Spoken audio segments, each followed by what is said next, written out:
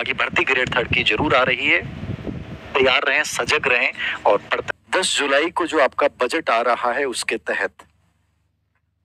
ये खुशी का मौका भी है कि ग्रेड थर्ड की एक बहुत अच्छी भर्ती होगी। लेकिन उससे पहले एक नया विवाद हम सबके सामने आ गया।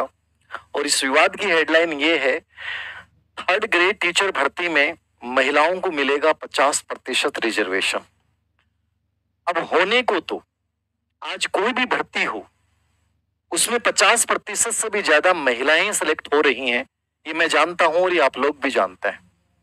क्लासरूम में जब मैं खड़ा होता हूँ तो मुझे लड़कियों के चेहरे दिखाई देते हैं और पढ़ने वालों की संख्या में भी लड़कियाँ बहुत आगे हैं। क्योंकि इनमें सविंगात्म बुद्धि बहुत अच्छी होती है और ये हिम्मत नहीं हारती हैं। खराब परिस्थिति के बावजूद ये बहुत अच्छा कर जाती हैं।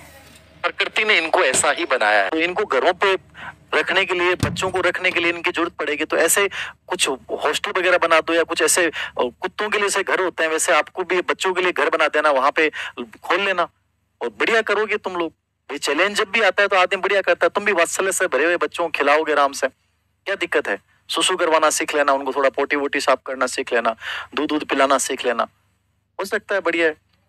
वैसे भी तुम लोगों ने बहुत कमाया है, वैसे भी क्या है? अब इनको करने दो नौकरी। तुम एक बार घर को संभाल के देखो। क्या फ़र्क पड़ता है?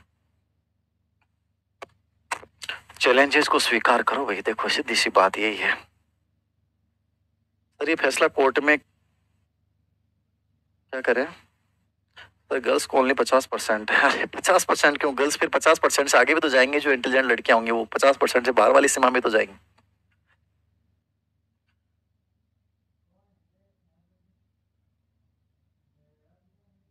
सॉरी तो बावड़े हो गए सॉरी बावड़े तो देखो तो रीजन है। सॉरी बावड़े थे पहले ये तो पहले बावड़े थे, ठीक है ना? ये तो पहले बावड़े थे, आधे तो हो ही रखे थे, ठीक है? भाई, लड़के की स्थिति है कि लड़की एक बार कोई भी देख कभी भी देखना, एक बार कोई भी लड़की लड़के की तरफ़ एक बार देख ले। लड़के की तरफ़ लड़, लड़की की तरफ़ वो लड़का चाहे दस दिन लगातार देख ले, लड़की के इमोशंस पे कोई फ़र्क नहीं पड़ेगा। लड़के की तरफ़ एक बार लड़की क्लास में, लाइब्रेरी में कहीं भी एक बार मुस्कुरा दे। मैं हंड्रेड परसेंट कह रहा हूँ कि वो लड़का बीस दिन, पच्चीस दिन पढ़ाई में मन लग जाए, लग ही नहीं सकता। तो बावड़े तो वैसे ही हैं, नमूने तो वैसे ही हैं, ठीक है? इनको तो सिर्फ़ एक नज़र की ज़रूरत है। प्यार भरी नज़र से इनको एक बार देख लो, इनको तो लगता है बस हो गया काम अपना तो। इनके इमोशंस तो वैसे अनस्टेबल हैं। आधे तो पागल इसलिए घूम ही रहे हैं, ठीक है? और कुछ, अब ये आ गया तो इसको उनको लग रहा है कि अब तो खत्म ही हो गया ऐसा नहीं कि कुछ खत्म हो गया है। बेटा तैयारी करोगे तो अभी भी बहुत संभावना है, ऐसा कुछ नहीं है। बट ये चीज़ों को जल्दी हावी करता है, जो मैं चीज़ें बता रहा हूँ, ठीक है ना? लड़की थोड़ा सा बोल देगी तो ये कुछ भी कर जाएँगे। लड़की थोड़ा सा इनको कहते कि मेरे लिए सीट रखना। तो ये तीन घंटे पहले कोचिंग में आके बैठ जाए कि उसने कहा है सीट रखनी है। अरे बेटा, तू तीन घंटे पहले आ रहा है, उस घंटे में पढ़ाई करता रूम पे, नहीं। उसने कहा मतलब उसके लिए तो कुछ भी करेंगे। तो आधे बेवकूफ़ तो वैसे हैं ही ये फिर ऐसे डिसीज़न इनको और इमोशनली ये मनोबल तो कमज़ोर हो ही जाता है, खैर। और बताओ, लड़कियों का भविष्य बहुत अच्छा है, लड़कियों को विरोध ज़्यादा वो मत टेंशन लेना। आप में इमोशनल इंटेलिजेंस इतनी अच्छी है, आप हमेशा ज़िंदगी में राज करोगे, याद रखना। ये तनाव कभी मत लेना कि सर, हम लड़कियों के लिए कोई निर्णय होता है तो आप ऐसे कैसे कह रहे हो? लड़कियाँ हमेशा राज करेंगी, उनमें बहुत काबिलियत है, उनकी इमोशनल इंटेलिजेंस बहुत गजब है, और वो हर परिस्थिति में लड़ते हुए आगे बढ़ सकते हैं। और बाकी तो देखो, ये निर्णय मेरे हाथ में नहीं है, आप लोगों के हाथ में नहीं है। मैंने कहा कि ग्रेड थर्ड की भर्ती ज़रूर आ रही है। जो बच्चे सीरियसली इसको करना चाहते हैं, इसकी प्रिपरेशन स्टार्ट कर दें। ग्रेड सेकंड ग्रेड फ़र्स्ट खैर, पहले से ही प्रस्तावित थी बट ग्रेड थर्ड का ये निर्णय हुआ है। आप इसको मान के चलिए, इस निर्णय के तह में जाएँगे मतलब संभावनाएँ पूरी पूरी हैं। अब कितनी जल्दी और कितना होता है बजट के ऊपर डिपेंड करेगा। आपके हिसाब से रेट में एक दो। देखो सरकार इस पे भी निर्णय नहीं कर पाई है। आ, कोई भी इनपुट हमें नहीं मिला है बट रेट एक रेट तो होगी होगी। अब उस रेट बेस पे सिलेक्शन करते हैं कुछ।